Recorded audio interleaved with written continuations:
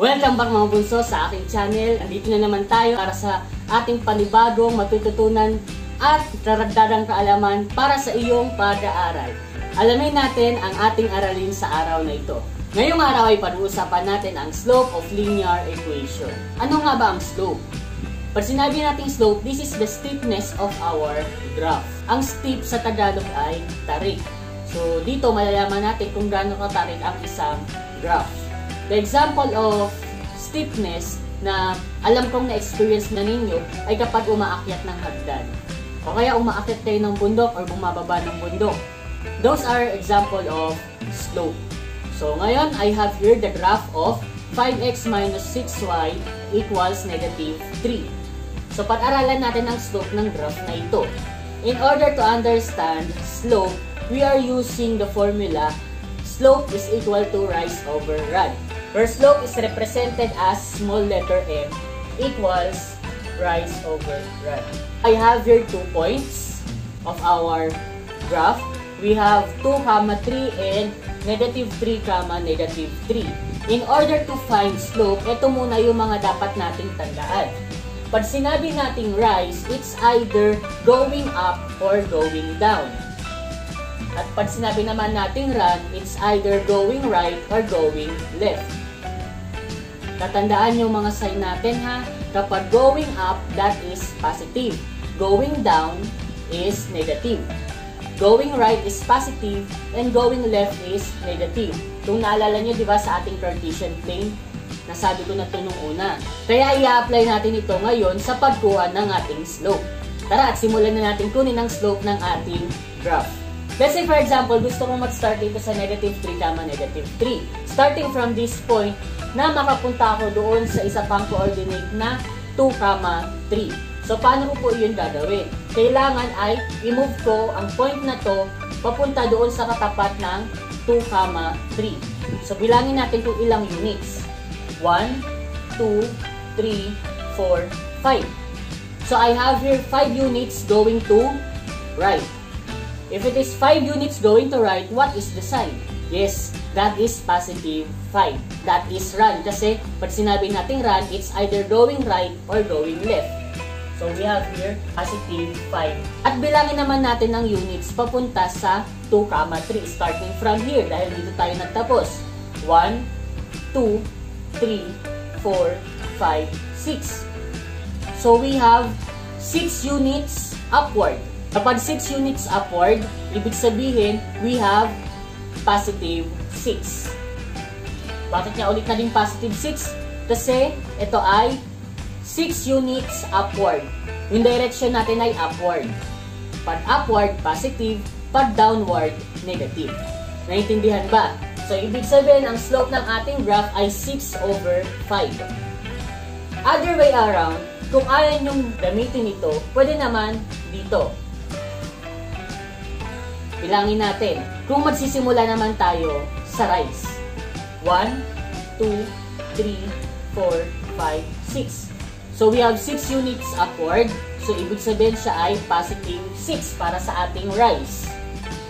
Starting from here, going to 2, 3, we have 1, 2, 3, 4, 5. So 5 units to the right. But 5 units to the right, that is positive 5. So, the answer is still the same. Eh kuya, paano naman pala nagsimula tayo sa 2, 3? Mga bunso, ganun pa rin ang magiging sagot. Papatunayan ko yan sa inyo. Kung mag-start tayo sa 2, 3, kailangan nating makapunta dito sa negative 3, negative 3. So, bilang tayo, 1, 2, 3, 4, 5, 6. So, kung meron tayong 6 units downward, the sign will be negative 6 para sa ating rise. And then, patungo sa negative 3, tama negative 3, bilang tayo. 1, 2, 3, 4, 5. So, we have 5 units to the left. And then, the sign will be negative 5. Since we have negative 6 over negative 5, isi-simplify natin yan. Negative divided by negative is positive. So, we have now 6 over 5. So, ganun pa rin. Kahit dito rin yung part na gamitin ninyo. So, bahala na kayo kung anong gusto nyong sundin. kung saan kayo magsisimulang point. Basta ang tatandaan ninyo, pagka sinabi nating rise, it's either going up with positive sign or going down with negative sign. And for our run, it's either going to right, that has positive sign, or going left with the negative sign. Ayos ba? Additional information, kapag ang graph natin ay positive, ang trend ng ating graph ay increasing from left to right. Okay? So let's have another example at kayo naman ang sasagot sa susunod na item na ito. O sige mga bunso, pakisagutan ng given na ito, tapos pakipost ang video na ito. Mamaya, tignan natin kung tama ang inyong magiging sagot. Let's answer this given. I want to start here. So let's count. 1, 2, 3, 4. So I have 4 units to the right. Kapag meron akong 4 units to the right, that is positive 4. Tatandaan ang direction ng run natin, it's either right or left. Dahil tayo ay right, positive 4. After this, bilang naman tayo ng units papunta sa ating susunod na ordered pair na 1, negative 2. 1, 2, 3, 4. So I have 4 units downward. Kung ito ay 4 units downward, alam natin na pag downward ay negative. So it means we have negative 4 para sa ating rise. Tatandaan ang ating rise, ang direction ay either upward or downward. So i-simplify natin yung ating slope. Negative 4 over 4 is simply negative 1. So, yan na ang ating slope. Kung parehas tayo ng sagot, ibig sabihin madaling-madali na ang slope para sa inyo. As you can see, the slope is negative. If the slope is negative, the trend of our graph is decreasing from left to right. Malinaw? For your activity, I want you to find the slope of this item. Tingnan ko nga kung kaya nyo ng salutan ng slope. For the second given, kindly answer the slope of this linear equation, 2x plus 3y equals negative 4. I hope na masagutan nyo ng maigi. Sa pagpapatuloy ng ating aralin na slope of linear equation, narito naman ang ating susunod na given. Find the slope of the line passes through 3, 2, and 4, 0. So para dito, hindi na natin kailangang i-graph yung ating given para malaman natin yung rise over run. Kapag ganito ang given, meron tayong ginagamit na formula which is slope is equal to y sub 2 minus y sub 1 over x sub 2 minus x sub 1. Ang dapat natin gawin sa given na ito, una-una ay dapat natin i-identify sino si x sub 1, x sub 2, y sub 1 at y sub 2. Based on our given, yung naunang ordered pair ay 3, 2. Ito ang madre-represent para kay x sub 1, y sub 1. At yung pangalawa namang given ay magre-represent para kay x sub 2, y sub 2. After natin ma-identify simula kay x sub 1 hanggang y sub 2, we are going to substitute the given values to our formula. Therefore, we have the slope equals, the value of y sub 2 here is 0. Copy the subtraction sign. Ang y sub 1 natin ay positive 2 over the x sub 2 which is 4 minus the value of x sub 1 is 3. We have now 0 minus 2 over 4 minus 3. Afterwards, we need to simplify in order to find our slope.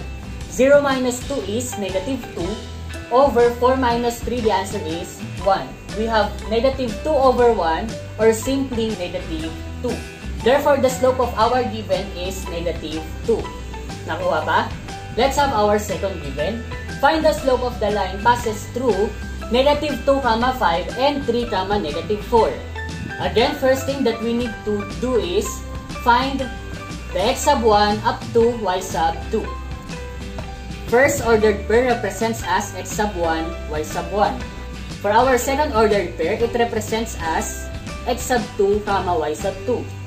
After identifying, let's substitute these values to our formula. Si y sub 2 ay negative 4 copy the subtraction sign. The value of y sub 1 is positive 5 over the x sub 2 is 3 minus the x sub 1 which is negative 2. And then let's simplify. Negative 4 minus 5, the answer is negative 9. Over 3 minus negative 2 is positive 5. Can we simplify negative 9 over 5? No. Therefore, this is our final answer. Madali lang, di ba? Basta alam nyo yung rules natin sa addition and subtraction of integers. Let's have this given. Find the slope of the line passes through 3, 4, and 5, negative 2. Sige nga. Bago ko sagutan, I want you to answer first this given. And then later on, we will check if your answer is correct. Please don't forget to post the video Okay, let's check if your answer is correct. Tama ba ang ginawa niyong step? Identify muna si x sub 1 up to y sub 2. Si 3, 4 ay para sa x sub 1, y sub 1, and this one is for x sub 2 and y sub 2. Afterwards, substitute na natin. Ang value ni y sub 2 ay negative 2 at ang value ng y sub 1 ay 4. So we have now negative 2 minus 4 over, ang value ng x sub 2 ay 5, minus x sub 1, which is 3. So, we have 5 minus 3. Negative 2 minus 4 is negative 6, and 5 minus 3 is positive 2. Negative 6 over 2, kaya pa ba natin simplify? Yes. The answer will be negative 3. Negative 6 divided by 2 is negative 3. Therefore, the slope of our given is negative 3. Do we have the same answer? If we have the same answer, I guess pwedeng-pwede mo na sarutan ang aking activity. For your activity, you are going to answer this. Find the slope of the line given these two points. Maraming salamat sa patuloy na pagsubaybay at pagsuporta sa aking YouTube channel. So sana marami pang mga estudyante ako matulungan sa pamamagitan ng video na ito. Maraming maraming salamat sa inyong pagsuporta. And again, huwag na huwag niyong kakalimutan na mag-subscribe, hit the notification bell, like, and subscribe kung may mga questions kayo. Kung kakayanin ko, I will answer those questions as much as possible. So, stay tuned